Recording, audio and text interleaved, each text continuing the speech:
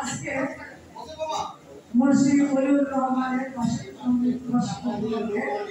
যে স্মরণ সভা এখানে উপস্থিত আছে জেলা আওয়ামী লীগের সুযোগ্য সভাপতি, সাধারণ সম্পাদক, সাবেক সাধারণ ভাই হাফিজুর রহমান ভাই সহ সকল রাজনীতিবিদ সকল উপস্থিতি সভাপতি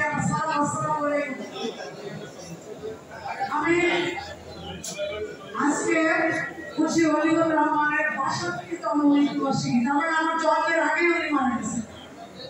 তারপরেও আমি এখানে।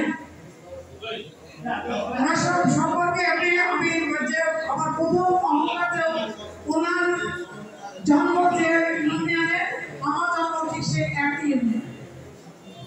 আমার দীর্ঘ বাষট্টি বছর পরে হইল, আজকে যেটা স্মরণ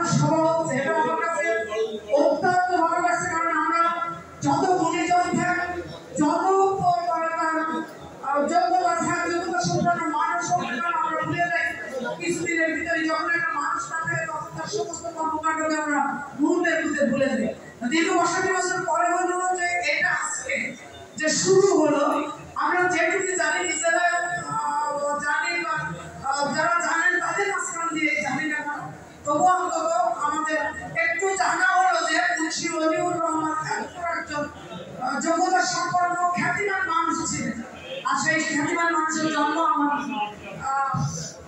বাবা, বাবার বাড়ি যে ইউনিয়নে সেই ইউনিয়নে তো আমি আহ, আজকে আহ, তিনি যে যোগ্যতা সম্পন্ন মানুষ এবং ভালো মানুষ তার মানে